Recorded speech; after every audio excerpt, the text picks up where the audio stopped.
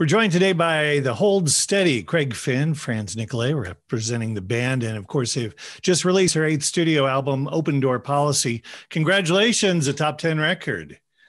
Top 10. It's uh it's pretty exciting. I mean, it's our eighth record, which, you know, is uh a lot of our favorite bands don't get to their eighth album. So I mean that's a that's a feat in itself. But to have one that feels special and you know within the band and well received by the fans and the audience, it means even better. Yeah. So, yeah. So this was actually recorded back in a couple of sessions in August and December of 2019, uh, and then reality struck. yeah, we we were pretty much done with the record by, by 2020, and uh, we just had some overdubs really to do and mixing, of course. We went off to play our shows, our annual shows in London um, on like March 6, 7, 8 of 2020. And by the time we landed in the US, it, it, it appeared that we were in a different, um, uh, a different place. And that was the last time we played in front of an audience. Um, so we took our time, you know, getting the record ready. Um, we, we, may have dragged our feet a little bit trying to figure out what's happening and when we would, could play shows around the release of it. But eventually it just got to the point where it's, we better put it out. We better put it out. It's going to get old. So uh, my impression, my impression is that you know well the, the strong feeling that i have really is that the hold steady when you like put out an album it's meant to be shared and it's meant to be shared live so like you know i can see why you'd want to put it off just a little bit yeah, I mean, I think every band wants to do like the record release and all that, but I'd say that our, you know, the community around our band is is very very important. So yeah, we uh, think we pride ourselves in being a good live band. So yeah, we wanted to have that release. Um, we were able to do it sort of differently through the miracles of tech, today's technology. Um, but we're still looking forward to playing these songs in front of an audience.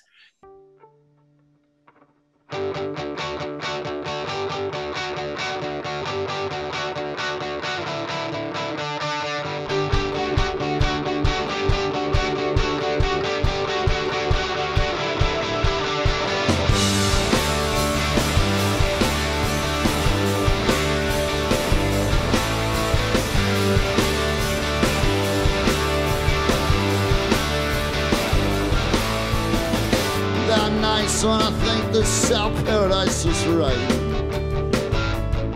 Boys and girls in America, they are such a sad time together. Sucking off each other at the demonstration, making sure they make it straight. Crushing one another with colossal expectation, dependent on discipline and sleeping late. So really cool kisser wasn't all that strict of a person. She was a damn good dancer and she wasn't all that great of a girlfriend. And he likes the warm feeling, but he's tired of all the dehydration. And he lets it crystal clear. Tonight it's like he's stuck between stations. On the radio.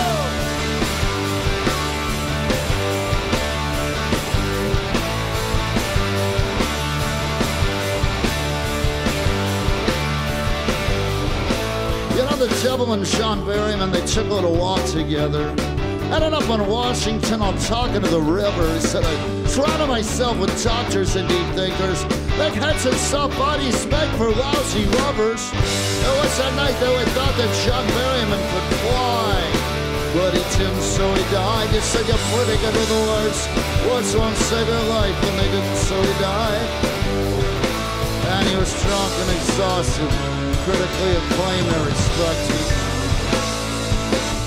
And he loved the Golden Gophers, but he hated all the drawn-out winters. And he likes the warm feeling, but he's tired of all the dehydration. Well, not to kind of fuzzy. Last night he had total redemption.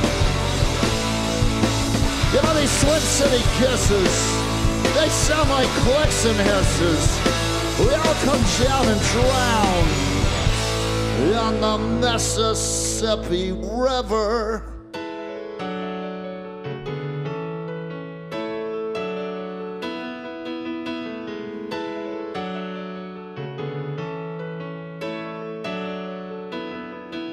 Well, we drink and we dry up and now we crumble in the dust.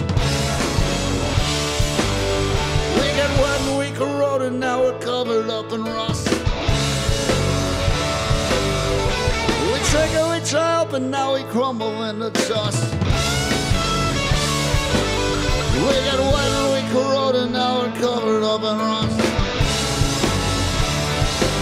She was a really cool kisser, wasn't all that strict of a person. She was a damn good dancer, she wasn't all that great of a girlfriend. And he likes to walk feeling the side of all the jihad tricks. Mustache are crystal clear, tonight it's like he's stuck between stations. You know these sweat city kisses. They sound like clicks and hisses. We all come and drown.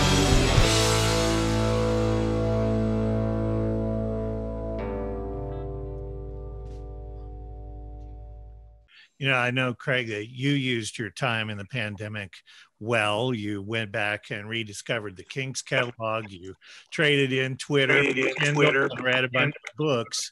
Um, but it had to be sort of, you know, I'm sure it was the same for you as was for everybody else. What what are we supposed to do with this? Yeah, I mean, I think that uh, we all struggled with with sort of how to um, how to fill our time, and and I mean, not, not just fill the time. I mean, Franz has kids. Some of the guys have kids, so I'm sure time was amply filled by um, the young people. But uh, but you know, I think it's just also a matter of having new ways to kind of keep um, keep keep creative and keep uh, keep connected. I guess is the word I'm looking for. So, Franz, I'm assuming it wasn't all kit for you. I mean, it was a full year.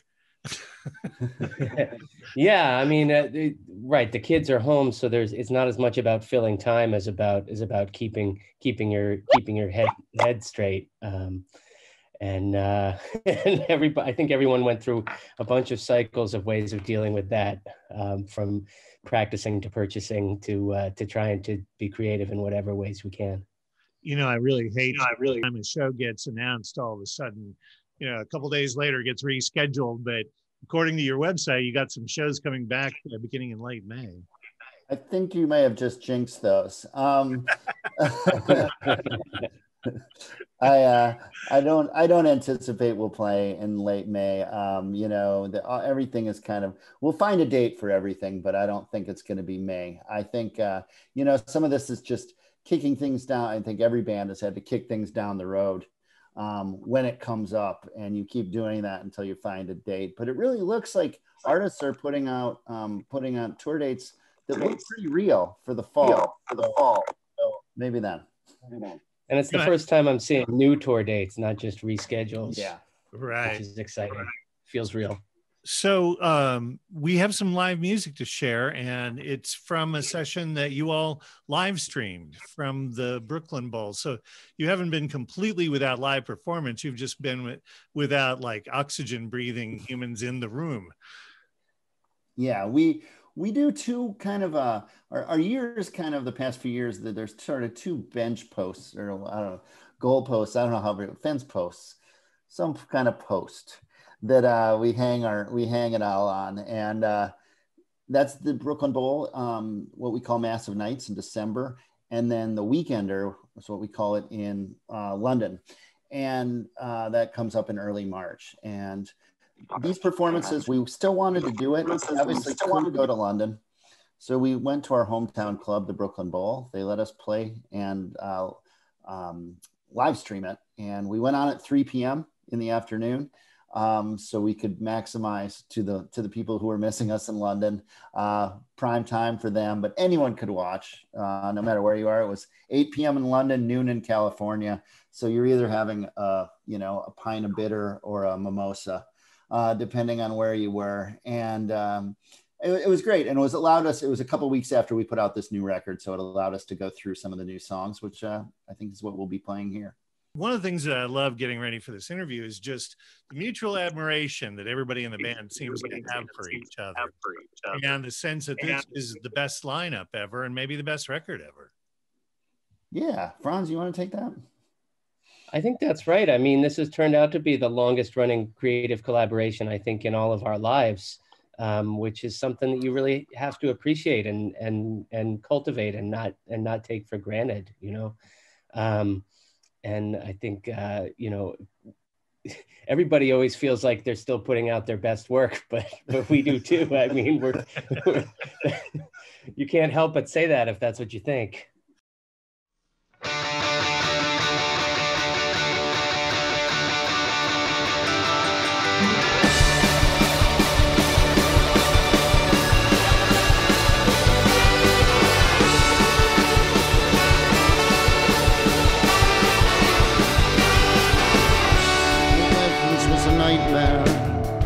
You know, they took away my headphones. Sure, they let you keep your handset, but the courtyard is a dead zone. And the nurse that they assigned me had eruption as a ringtone, blasting out through built-in speakers like it's bug spray, buzzing like a hornet halfway blown.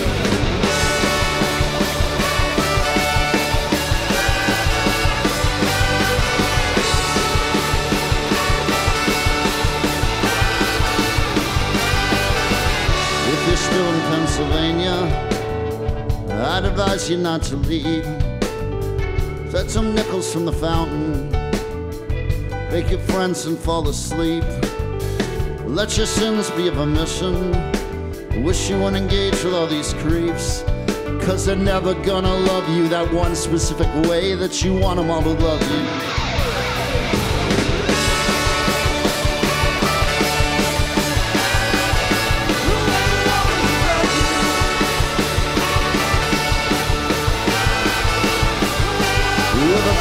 Flexible schedule and a willingness to trade your medication. Obsessive and controlling and coming up on total suffocation. She came into the cantina singing this must be his place. Faithful as its limits, I just wanna see his face.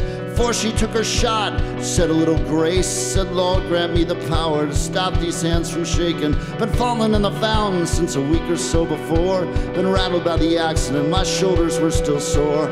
I almost rolled my eyes when they asked me how to score. But sometimes it feels sweet to be the teacher.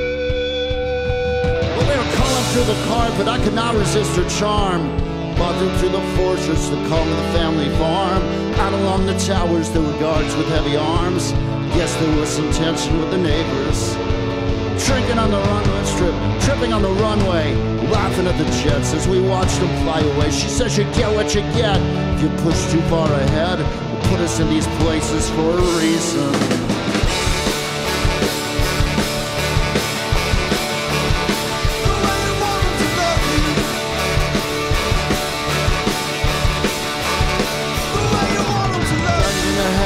Fascination masquerading as wisdom. None of that jangling the keys to the kingdom. Resting in the lobby at the hotel on the highway. Not sure you even want to be rescued. Now you're never gonna love you that one specific way that you want them all to love you. And you want them all to love you.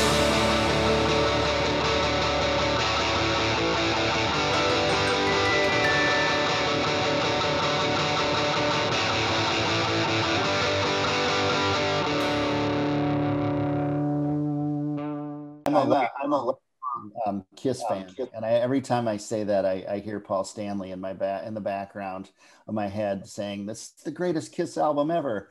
Um, but I really do believe it. This this one uh, this one felt very special, and I think, as Franz said, we've we've all been together, and um, this lineup is really cool. Franz really cool. was not in the band for a while. He came back. Um, in the time he left, we um, had Steve Selvidge come into the band and it feels like, since for the past few years, since Franz came back, to have them both in the band, to look to my right on stage and see them both there is both comforting and exciting. And I think it's uh, maybe like the East Street Band when you got, you know, uh, Nils and uh, Little Steven back together. But I call it, you know, the stu- Super Steady or Hold Steady 3.0. It's it's the best because it's all hands on deck and everything's firing on all cylinders you know, the thing that I also really found interesting was, Franz, you had to sort of occupy the same space as Steve. And so really it was like you had to find a way to work with the guy that was your replacement. And like on the face of it, like we've all seen situations like this, and they don't usually work very well. Very well, but in this case, they did. In this case, it did because I mean, Steve's a very generous musician. Um, I think we all wanted to, you know, we all had had investments in making it work, and and when you have when everybody's on board with the project, there's no, you know, there's no reason it shouldn't. There's a way in which uh, the more people you put in a band on stage, the less everyone has to play, uh, and that helps um, free up space so that everyone has a has a, has a little auditory elbow room. I know you bonded, know you bonded Steve a little bit over the fact that you're both parents. I was kind of curious how being a parent has changed you as an artist. That's an interesting question. I mean, you have to make your, you can't be as self indulgent. Um, you have to make your working time more productive, and that really focuses the mind. Um, I just, I think psychologically, it's it's humbling for most people and that just as a as a as a maturing process is is is a good thing and and um and probably makes you a better collaborator too. I, I don't have any kids. have i'm any kids. still out of control. And we wouldn't have it any other way.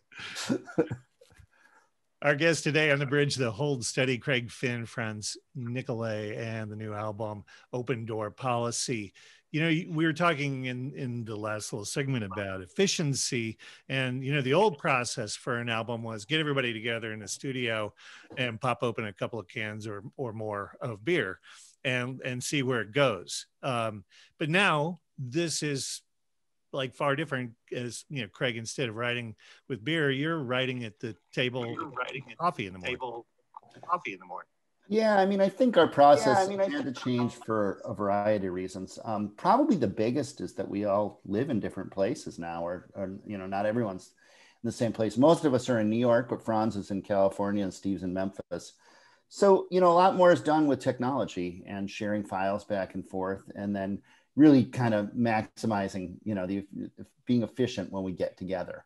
And uh, I definitely have changed my, um, you know, writing thing uh, to to be. Um, to try to capture my mind in the morning. Um, although I've been experimenting with different times lately, but but that seems to work where I get the best stuff I've found over the years. And yeah, we can't, you know, it, you at the beginning of the band there could be eight, an eight hour rehearsal with a bottle of whiskey and a case of beer, and that like no one has the constitution nor really the time anymore um, to do it that way. Um, and so we've kind of found a way that um, that really works well for us, you know, and it, it's been it's been really fruitful for the past two records. Franz, I wanted to ask you about the process of building these the music, you know, because you you start off looking for something new, something that will excite you and the rest of the band, but then it's sort of like everybody starts grabbing these things out of Dropbox and my sense is that it's mixing and matching and splicing together and moving around. And, and, some of that collaboration actually begins with just working with other people's files. Well that's what you want. I mean one of the effects of doing it this way is it forces you to it uh, to present people all you know all of us who write the music are presenting more fully realized fully baked um, ideas than we would if we were sitting around, you know, staring, looking at each other, being like, okay, who's got a riff, you know? Otherwise, you're because because you want you don't want to waste people's time, but at the same time, you know, the the counterpoint to that is you don't want to present, and I've been guilty of this. You don't you, you try not to present such a fully formed demo that it doesn't leave any room for it to be a group project right? It, like it has to go through the hold steady filter if it's going to be a hold steady song. I mean, the benefit is, you know, it's always going to be a hold steady song after it goes through that filter. So you can throw a lot of stuff that doesn't necessarily um, scream hold steady song uh, at the wall. And by the time it comes through, it, it, it is that thing. And, it, and, and along the way, it's sort of widened the, the, the, the, the, the, the frame of what constitutes a hold steady song. So open door policy has so been out for a few weeks now, but it was really kind of finished, almost done at the end of 2019. So I guess the overarching question, which is like, you know, I mean, it's just the new the the new one's just out, but is the Dropbox full already again? It's it's not full, but it yeah, it's getting there. I mean, we've got a lot of ideas. Look, a lot of time elapsed, and uh, um, I think that a band um, that is working uh, being creative um, is is a happy band, right? You know, I mean, I think that that's uh, that's the I think that's one of the things we're in it for. So yes, there are recording dates um, discussed and um, there is there are wheels in motion. So I don't want to put any expectations on it, but like, yeah, there are new songs.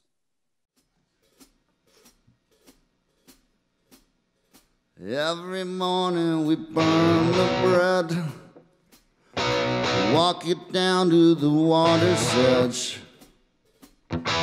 See the seagulls eat cigarettes. Check your breath in a spoon.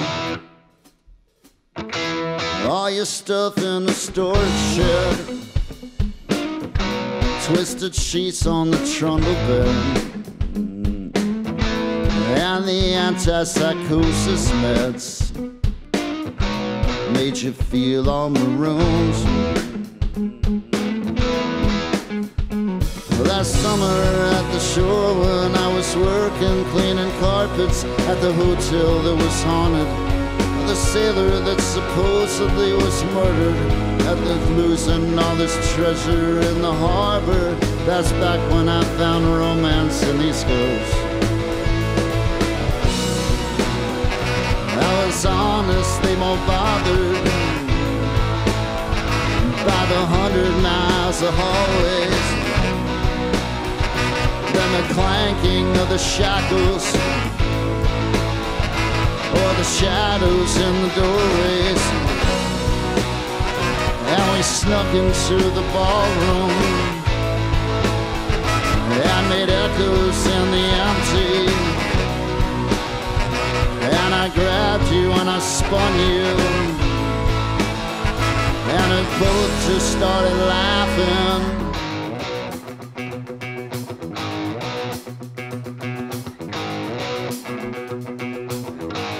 all the burns on the windowsill.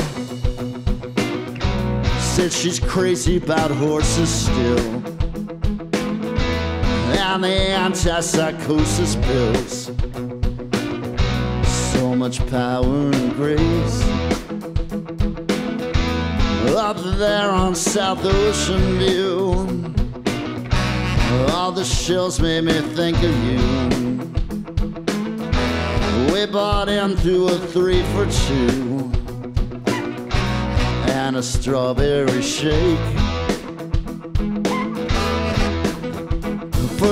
April, then it's August. It's the cost of doing business. There's the pleasures. Well, breakfast was unpleasant. You just can't keep throwing up and cover it with sawdust and pretend we didn't notice and act like it didn't happen. That summer at the shoreline, when you walked into the water, went out to your waistline, and turned back and faced the camera. Roll your eyes back in the sockets. Raise your middle fingers. Defiant and undamaged. So when I took the picture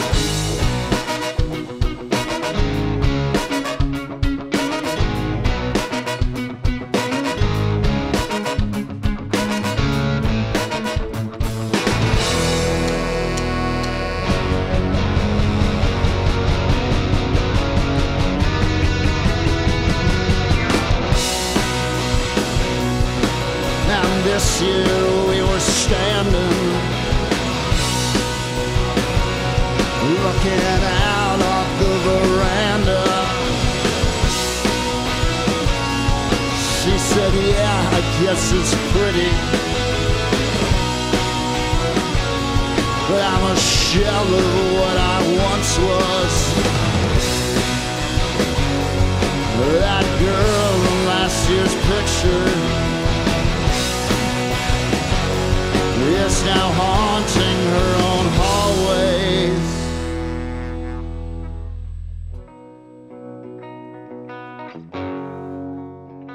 I no longer see the romance in these ghosts. This coffee's cold, this toast is gross. I no longer see the romance in these ghosts. Our guests today on the bridge, Craig Finn and Franz Nicolay of the Hold Steady, celebrating their eighth studio album, Open Door Policy, which is already out. Uh, and this time around, you worked with Josh Kaufman. And my understanding is, as a producer, one of the things that he brings to the party is just a sense that this should all be fun.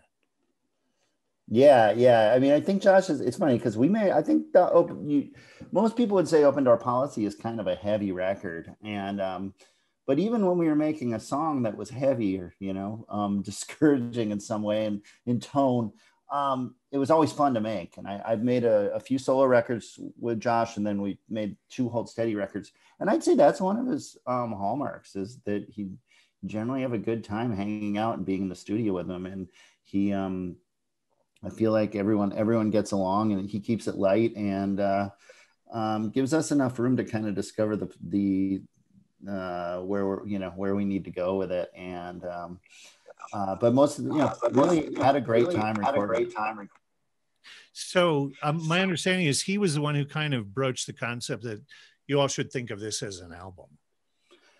Well, we we put out the last record. We were kind of putting out record singles, basically. We are putting out songs digitally as we recorded them, and and and that was really great. We and it got got sort of us going as like you know to when when Franz came back in this lineup to start making music together, writing together, putting stuff out, which was exciting. And we compiled those all to make a, a record, "Thrashing Through the Passion," which came out in 2019.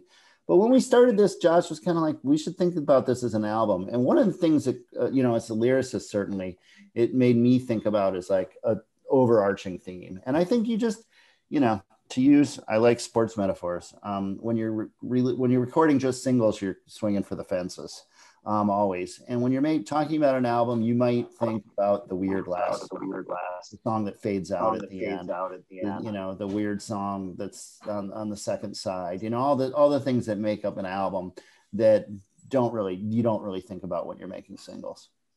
You know, there's um, there's been a reference to this being like the best headphone record that the Hold Steady's ever made.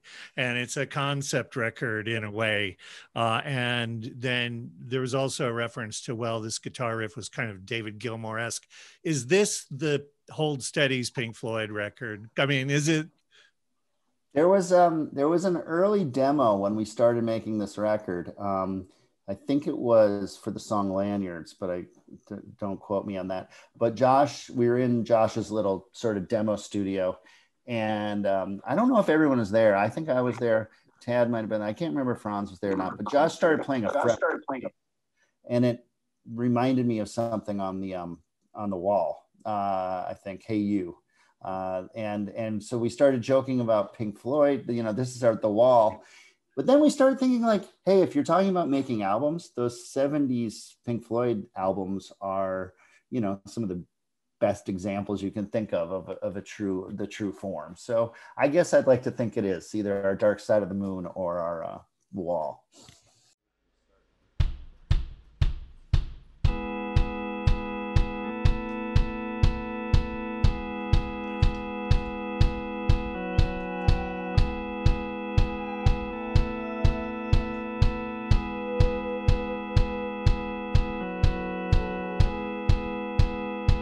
With the wine glass on the microwave and the ashtray in the kitchenette.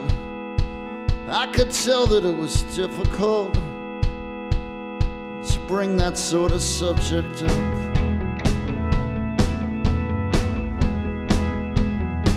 It was tough to bring the subject up.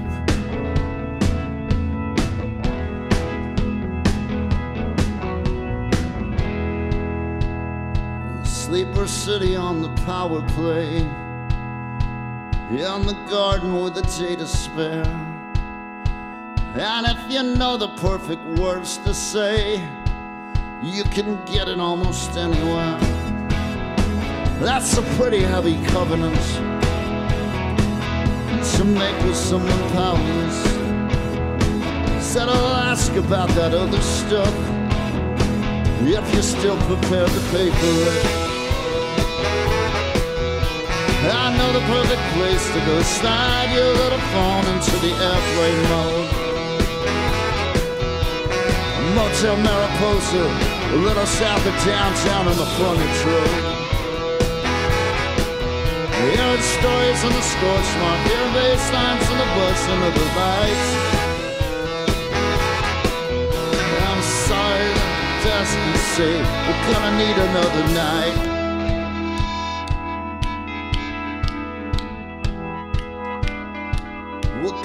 Gonna a second night.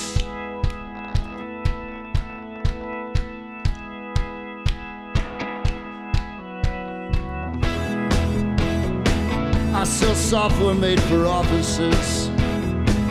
It increases their efficiency. Hospitals and local governments. It's a pretty heavy covenant.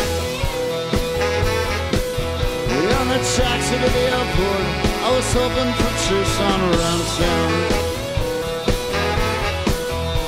Start the sideline, right back on my phone to find the frowns. There seems a little person, it's a couple different bodies in this one life. I'm sorry, but my meeting got delayed. We're gonna need another night.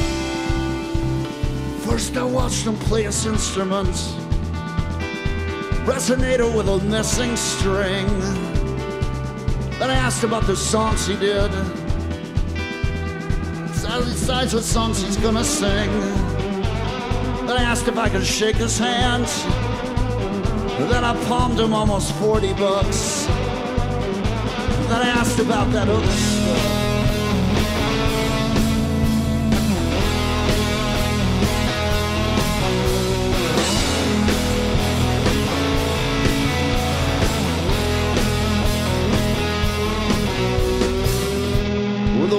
glass on the microwave, the ashtray on the kitchenette. I could tell that it was difficult. Sleeper City on the underplay, you can get it almost anywhere. If you know the perfect words to say, that's a pretty heavy covenant to make with someone powerless. He said, I'll ask about that other stuff. Met a guy up at the music club, found him almost 40 bucks to make it safe to bring the subject.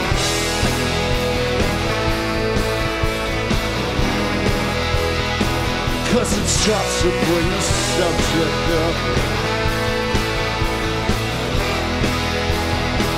Cause it's tough to bring the subject up. It's a pretty heavy covenant. Our guest today on the bridge, Craig Finn and Franz Nicolay of the Hold Steady, their eighth studio album, Open Door Policy, is out now. You know, the, there's been a lot of talk about the themes of the record power, wealth, mental health, income equality, but you don't really set out with that overarching theme. You just start writing, and then the album sort of reveals itself.